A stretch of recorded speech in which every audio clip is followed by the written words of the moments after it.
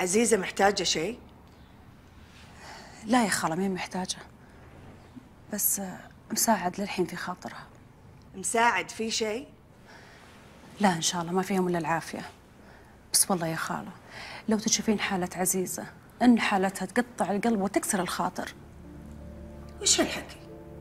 الولد كان عندها أمانة والأمانة رجعت لأهلها ها لا يكون عزيزة صدقت إن الولد ولدها يا خالتي الأم ما هي اللي تولد وبس الأم هي اللي تربي بعد. ولا تنسين عزيزة هي اللي ربت مساعد. وكبر قدام عيونها. يا خالتي عزيزة ودها ترجع مساعد. طيب حنا وش دخلنا فيه إذا هي تبي ترجع؟ شلون إيش دخلنا يا خالة؟ مو بحنا اللي عطيناها مساعد. وربت لين صار مثل ولدها؟ ويوم كبر أخذنا منها وهي ما تدري وحرقنا قلبها ودينا مساعد لغزيل وامها اسمعي يا جهير الولد هذا ما نبي نتدخل بأي موضوع يخصه. ليش يا خالة؟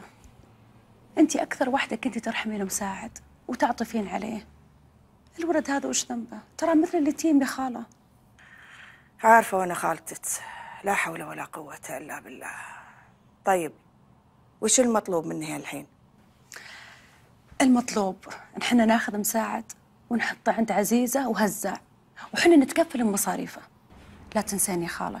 ترى كفالة اليتيم أجرها مو بسهل. صحيح وأنا خالتك. خالد عنده علم باللي سوينه؟